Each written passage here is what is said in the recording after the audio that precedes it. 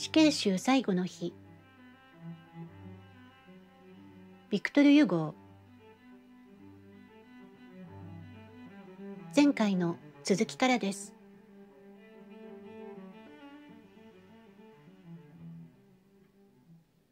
背が低く両手を垂れ目を閉じ不動のままで突っ立って壁の隅にくっついたようになっていた。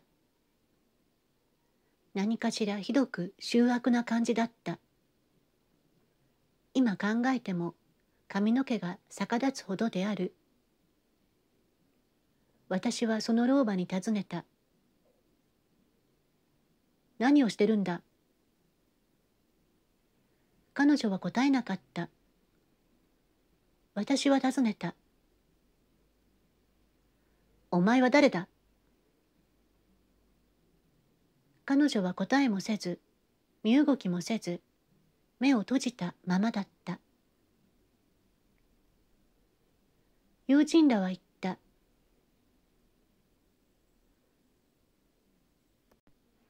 入り込んできた悪い奴らの仲間に違いない。僕たちがやってくるのを聞いてみんな逃げ出してしまったがこいつは逃げきれないでそこに隠れたんだ。私は再び彼女に尋ねかけたが、彼女はやはり声も出さず、身動きもせず、見もしなかった。私たちの誰かが彼女を押し伏せた。彼女は倒れた。彼女は丸太のように、命のないもののように、ばったり倒れた。私たちはそれを足先で動かしてみた。それから誰が二人がかりで彼女を立たせてまた壁に寄りかからせた。彼女には全く生きている印もなかった。耳の中に大声で怒鳴りつけてやっても保護者のように黙っていた。そのうちに私たちは散れ出してきた。私たちの恐怖の中には憤怒の情が混じっていた。誰か一人が私に言った。顎の下にろうそくをつけてやれ。私は彼女の顎の下に燃えている芯を持っていった。すると彼女は片方の目を少し開いた。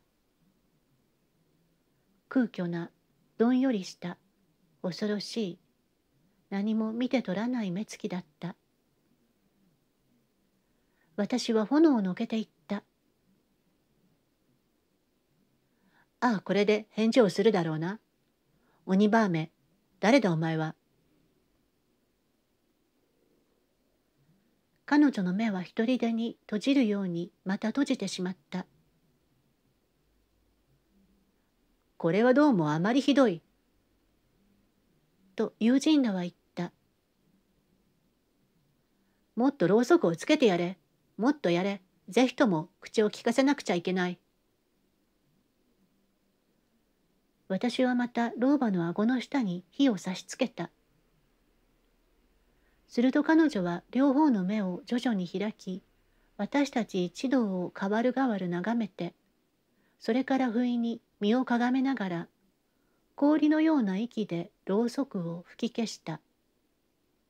と同時に暗闇の中で私は三本の鋭い歯が手に噛みつくのを感じた。私は震え上がり冷たい汗にまみれて目を覚ました。善良な教会士が寝台の裾の方に座って祈祷書を読んでいた。私は長く眠りましたか？と彼に私は尋ねた。一時間眠りましたよ。あなたの子供を連れてきてあります。隣の部屋にいてあなたを待っています。私はあなたを呼び起こしたくなかったのです。おう。と私は叫んだ。娘、娘を連れてきてください。43彼女は生き生きとしてバラ色で大きな目を持っていて美しい。小さな長いを着せつけられていたが、それがよく似合う。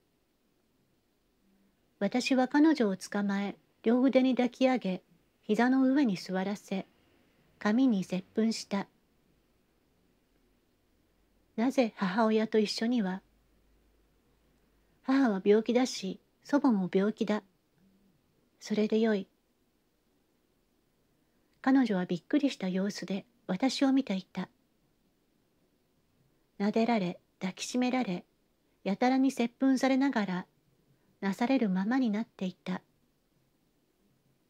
けれど時々、片隅で泣いている女中の方を不安そうに見合った。ついに私は口が聞けた。マリー。と私は言った。私のマリーや。私はむせび泣き、こみ上げてくる胸に激しく彼女を抱きしめた。彼女は小さな声を立てた。苦しいおじちゃま。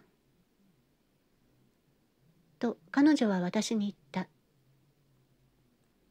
おじちゃま。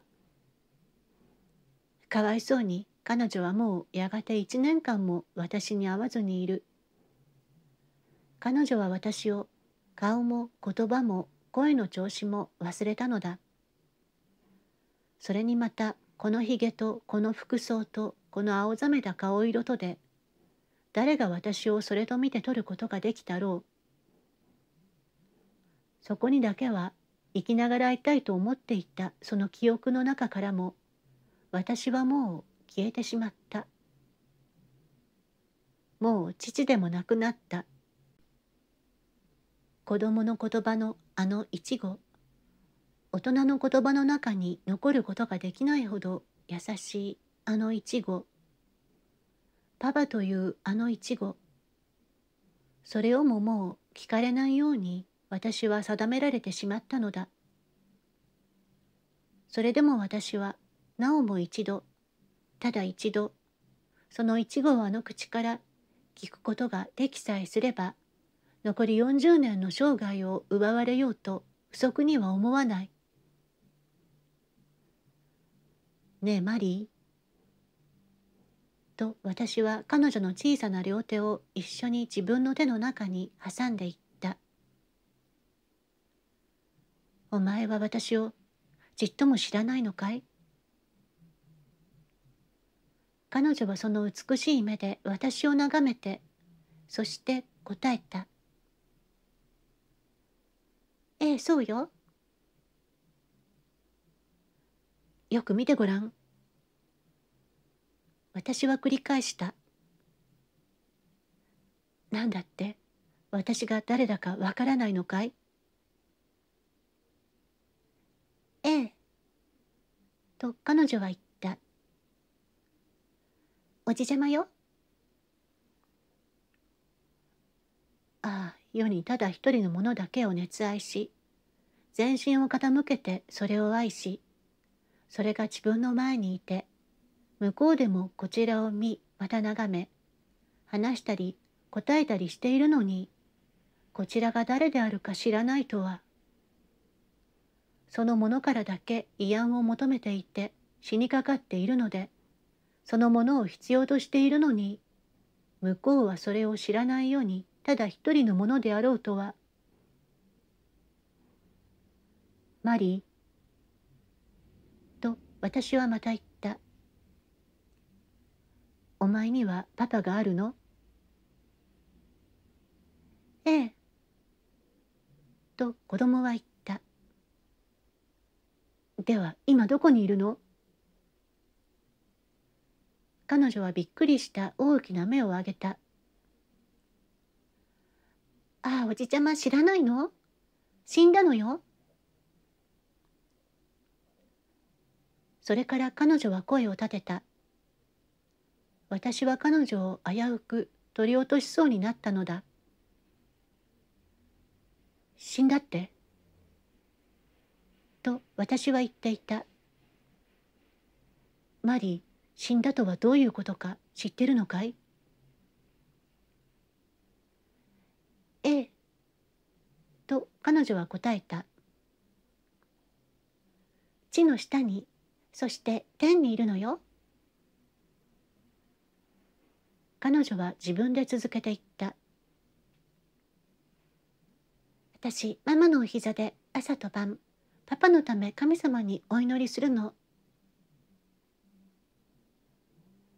私は彼女の方に接吻した。マリー、私にお前の祈りを言っておくれ。ダメよ、おじちゃま。お祈りって昼間言うもんじゃないの。今晩お家にいらっしゃい。言ってあげるわ。それでもう十分だった。私は彼女の言葉を遮った。マリー、お前のパパは私だよ。え？と彼女は言った。私は言い添えた。私がお前のパパでいいかい？子供は顔を背けた。いいえ、パパはずっと綺麗だったわ。私は彼女に接吻と涙とを浴びせた。彼女は私の腕から逃れようとしながら叫んだ。おひげが痛い。そこで私はまた彼女を膝の上に座らせて、しきりに眺めて、それから尋ねかけた。マリー、お前は字が読めるの？ええ。と彼女は答えた。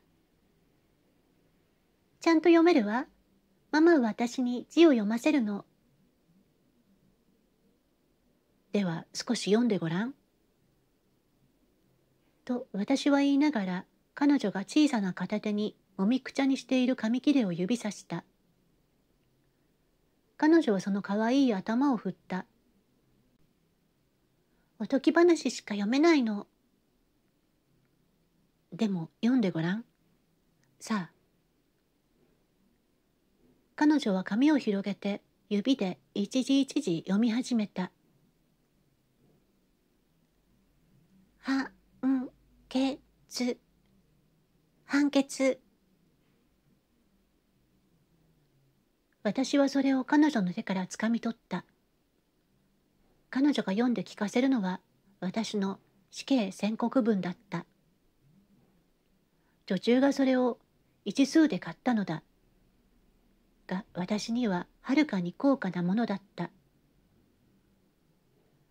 私がどういう気持ちを覚えたかは言葉には尽くされない私の激しい仕打ちに彼女は震えていた。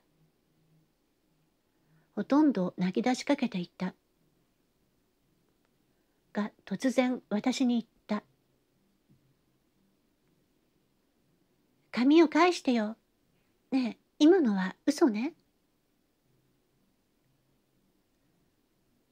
私は彼女を女中に渡した。連れて行ってくれ。